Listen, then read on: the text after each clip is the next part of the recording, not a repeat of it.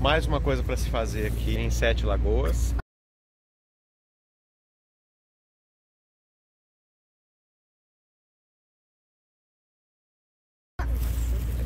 É a Gruta Rei do Mato. Então nós vamos ir nela agora, ali atrás da bilheteria. Nós vamos mostrar para vocês. E aqui tem uma área muito grande de estacionamento, ó. O estacionamento não é cobrado.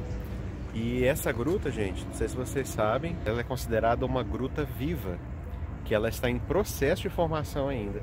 Quais os nomes das formações principais das grutas, Madeline? É, estalactite e estalagmite. Uma só gota dessa. Você não encontra em nenhum lugar o tipo de formação que tem, tem umas que é só aqui.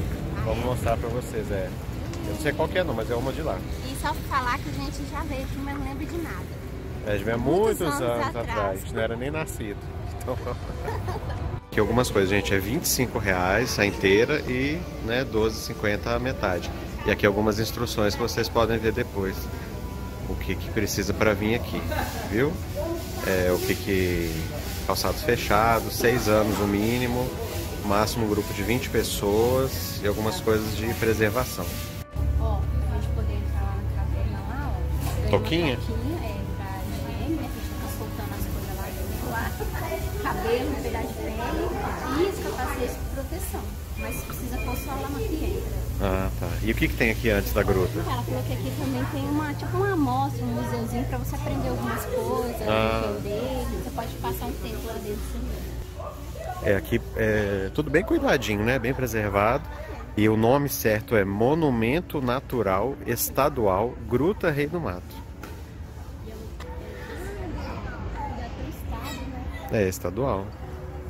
Ai meu Deus, animais peçonhentos. Cuidado. Oba, então vai ter aventura. Quedas e rolamentos de pedras, raios, cabeça d'água. Que isso?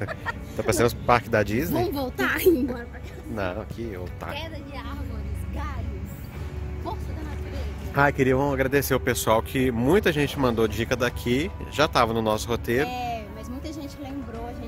Vai na gruta, vai na gruta e fica lá pra sempre. Muita gente mandou essas coisas pra gente. Não volta nunca mais. É. Ai, meu Deus. Eu não tô tirando foto, tô filmando pra perguntar. Você sabe se você pode entrar aí dentro? Mulher. Mas é. É? É, ruim. Então tá bom. Bom dia, bom? Ó, deu um pingo na cabeça aqui. Gelado. Ai, tá caindo no seu rosto. Eu lembrei aqui dessa entrada que a gente veio. É, limpíssimo, gente. Parabéns aqui pelo cuidado aqui do pessoal, viu? O ingresso tá valendo a pena. Então, aqui tem uma amostra aqui com algumas algumas representações aqui de pinturas rupestres. Uma exposição mesmo sobre a história, o, o começo da exploração da gruta, como é que foi catalogado as coisas, né? E aqui uma moradora aqui é importante aqui pro ecossistema, com certeza. Eu respeito ela, ela lá e eu aqui. Porque aqui no vídeo não tá dando pra ver, gente, mas ela é grande. Ela tem uns 10, quase 15 centímetros. A bitela ali, olha. Hein? Ah, Aqui tem banheiro. é, eu não tô querendo não. Então a gente tem uma trilha, mais ou menos 200 metros. Pra chegar lá, né? Olha a Madeline de toquinha. Aqui.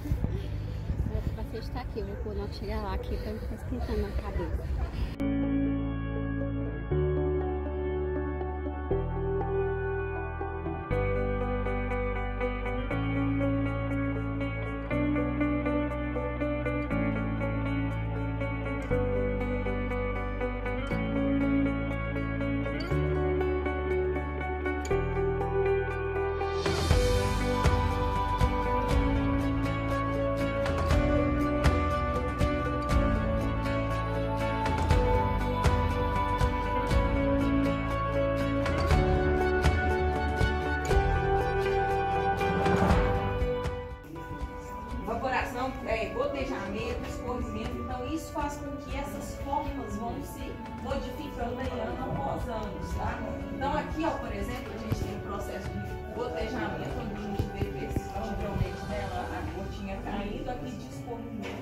Gente, um detalhe aqui da gruta.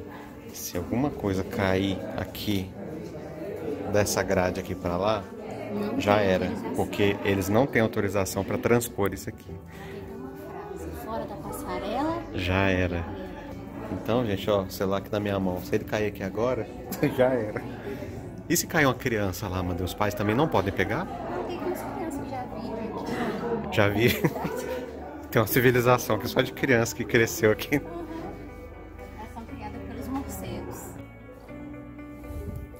Olha aqui é a escada mais íngreme.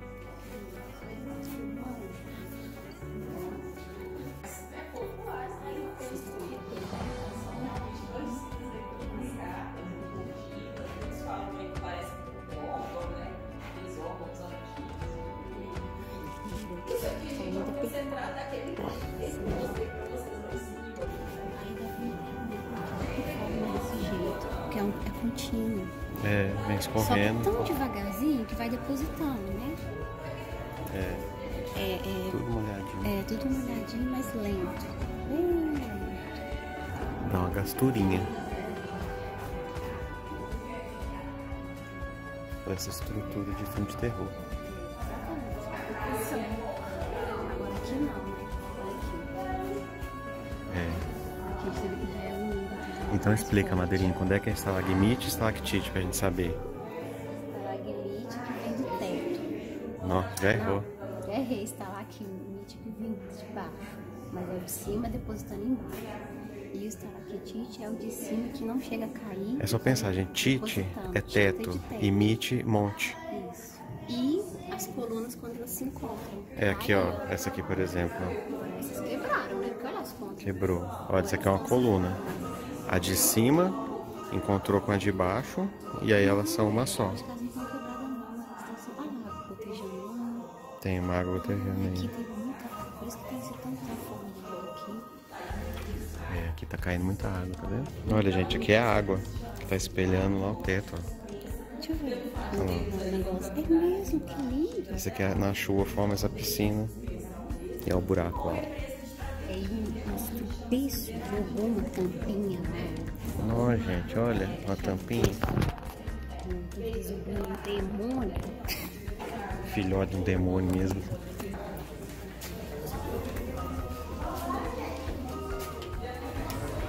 Não sei se dá pra ver ali, ó, mas tá pingando, ó. Então tá formando. Ao mesmo tempo que fura, ela deixa os sedime- os sedimentos ali e vai formando aquela estalagmite. E vai pingando lá do teto.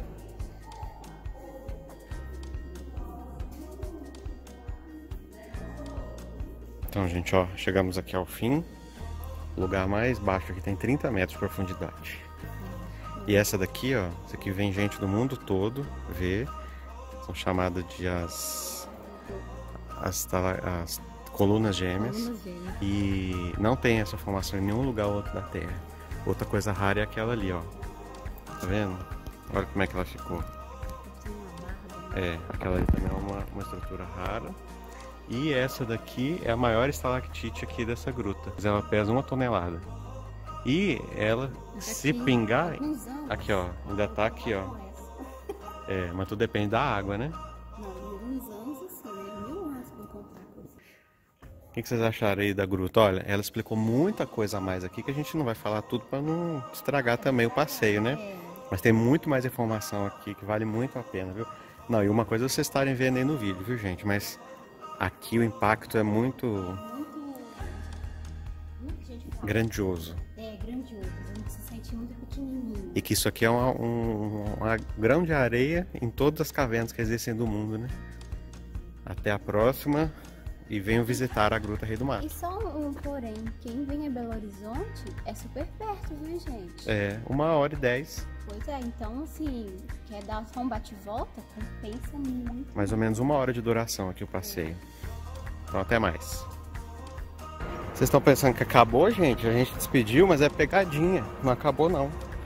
Porque aqui, ó, tem também a grutinha. Essa grutinha que a gente nunca vê. Oh, tá escorregando?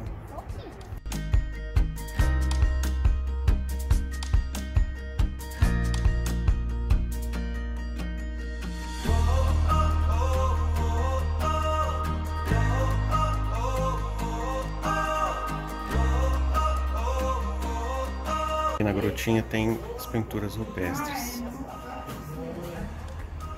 E tem uma réplica de um esqueleto que está lá na, no Museu Natural da PUC, que é esse bicho aqui que viveu aqui na época que o povo vivia aqui nessa caverna.